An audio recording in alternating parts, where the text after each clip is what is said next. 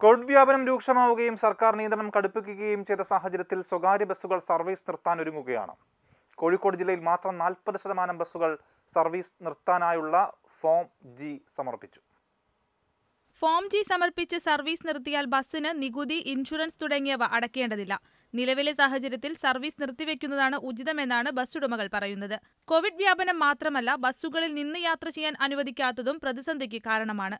ഈ ജീഫാം ഒഴിവാക്കിയിട്ട് കുറേ ബസ്സുകൾ ഏപ്രിൽ ഒന്ന് മുതൽ ഓടി നന്നാകൽ നല്ല സാഹചര്യം വന്നല്ലോ അവരിപ്പോൾ ഓടിയത് കുടുങ്ങിയിട്ടുണ്ട് അവരിപ്പോൾ വർഷങ്ങൾ ഒരു വർഷമായിട്ട് ജീഫാം കൊടുത്ത് നിർത്തിയ വണ്ടികൾ പണിയൊക്കെ കഴിപ്പിച്ച് സി അതിൻ്റെ സി എഫ് വിറ്റ്നസ് സർട്ടിഫിക്കറ്റൊക്കെ ശരിയാക്കി എല്ലാം ഇൻഷുറൻസ് ഒക്കെ അടച്ച് നിർ ഓടിയ വണ്ടികൾ ഇപ്പം വലിയ ബുദ്ധിമുട്ടിലേക്ക് വീണ്ടും വന്നു കയ്യിൽ നിന്ന് ആയിരം ആയിരത്തഞ്ഞൂറ് റുപ്യ ഡെയിലി കൊടുക്കല്ലേ ബസ്സുകാർക്ക് എൻ്റെ ബസ് തന്നെ പോക്കറ്റ് റോഡിന് ഓടുന്ന വണ്ടിയാണ് സീറ്റിലൂടെ ഓടി എങ്ങനെ ഓടിയാലും ഞങ്ങൾ നോക്കൂല നിലവിൽ കോഴിക്കോട് ജില്ലയിൽ ആയിരത്തി ഇരുന്നൂറ്റി അറുപത് സ്വകാര്യ ബസ്സുകളാണ് സർവീസ് നടത്തുന്നത്.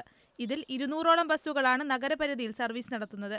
ഇതിൽ നാൽപ്പത് ശതമാനം ബസ്സുകളും സർവീസ് നിർത്തിവെക്കുകയാണെന്ന് കാണിച്ച് മോട്ടോർ വാഹന വകുപ്പിന് ഫോം ജി സമർപ്പിച്ചു. കോവിഡ് പ്രതിസന്ധിയെ തുടർന്ന് നേരത്തെ ബസ്സുകൾക്ക് നികുതി ഇളവ് സർക്കാർ നൽകിയിരുന്നു. എന്നാൽ ഈ ആനുകൂല്യം അടുത്ത മാസം അവസാനിക്കും. അതേസമയം ഉടമകൾ സ്വന്തം നിലയ്ക്കാണ് സർവീസ് നിർത്തുന്നതെന്നും സർവീസ് നിർത്തിവെക്കുന്നതിനായി അസോസിയേഷൻ നിർദ്ദേശം നൽകിയിട്ടില്ലെന്നും ബസ് ഓണേഴ്സ് അസോസിയേഷൻ ഭാരവാഹികൾ പറഞ്ഞു. ഏഷ്യാനെറ്റ് ന്യൂസ് കോഴിക്കോട്.